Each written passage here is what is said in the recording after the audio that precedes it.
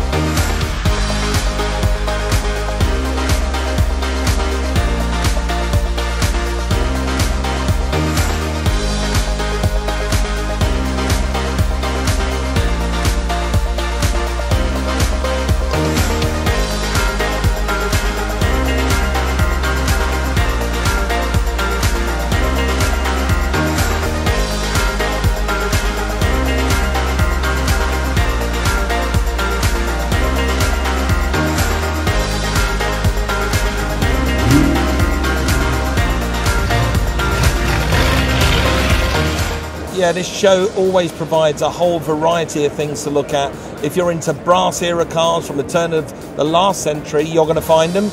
Or if you're interested in a really late modern classic, a, a Dodge SRT truck with a Dodge Viper engine, you will find that here in these halls. So there's a vast range of cars spanning the last 120 years of motoring history. This is grassroots enthusiasts. These are the people that are spending the time every weekend with oily fingers and, and building their cars up again. So for us, it's priceless. We've, we've got to come back every year.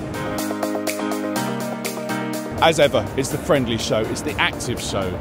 It's the show that you come to if you really want to enjoy your hobby in a big hall as well as in your own shed. I think you can come here and you can basically solve your classic car show needs for at least six months till the Classic Motor Show. You don't need another show after this, you're done.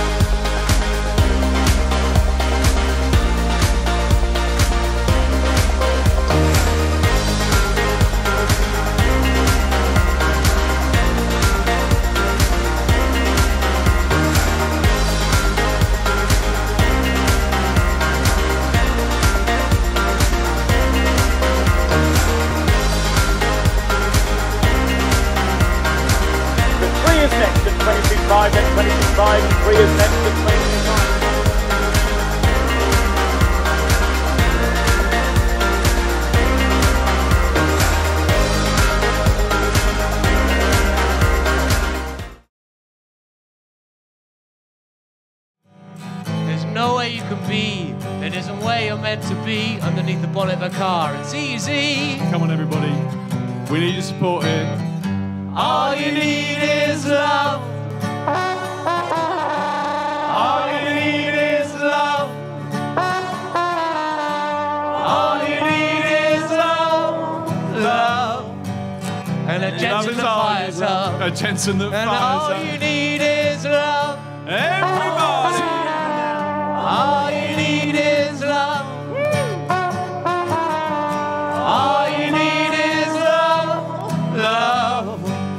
And a And a Jensen Jensen that fires fires up. And a Jensen that fires up. And a Jensen that fires up. And a Jensen that fires up. And a Jensen that fires up. Ladies and gentlemen, a round of applause for Danny's Karma. Thank you. Yeah. Spelled C A I M A. Fantastic.